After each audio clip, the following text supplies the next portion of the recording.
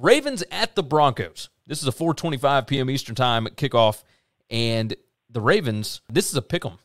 That, that's surprising to me. Ravens, they have played a lot of football. They they started off on Monday night, no bye yet. They played a lot of games in very short, uh, very short days. Uh, now they got to go to altitude, which you know has something to do with it in the NFL for sure. I I don't know what to. I, I think I'm going to go Broncos here because I think that the Ravens looked tired against the Lions.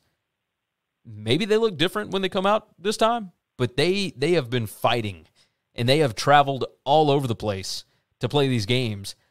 I third road game in the first 4 weeks. I'm I'm going to take the Broncos at home. I think they've been playing incredibly well. Teddy Bridgewater, the the cool, steady hand that this bunch needed. KJ Hamler is out with a torn ACL. He's out for the season. They still got other weapons. Jerry Jeudy is on the sideline as well uh, for another what, like three, four weeks, something like that. So this, there are still weapons for the Broncos, and and I think they can find a way to get it done. So I'm gonna take the Broncos as a pick 'em here.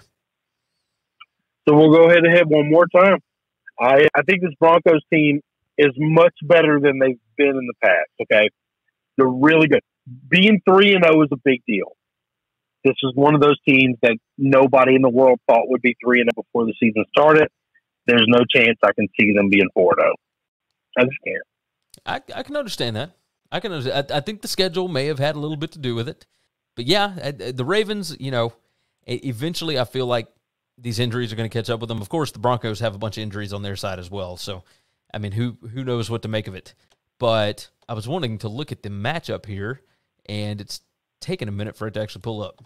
Uh, so there it goes. Baltimore number thirteen in total DVOA. Denver number five. Uh, Denver's defense number five in the NFL right now. Denver's offense number seven. Baltimore's defense is number twenty in total DVOA and Baltimore's offense number 13. The game, of course, or the, the part of the game where this might favor Baltimore is, of course, special teams. Baltimore number one and Denver number 26. When you got Justin Tucker back there, it, it makes things a little bit easier because you can almost always count on three points. So, yeah, I'm, I'm going to take the Broncos. I, I almost I looked at this as another kind of shady line as why is this a pick 'em? Why are the Ravens not favored? And watching the Ravens against the Lions, they just looked beat up last week. So, so we'll see. We will see. I'm rolling Broncos. You're rolling Ravens.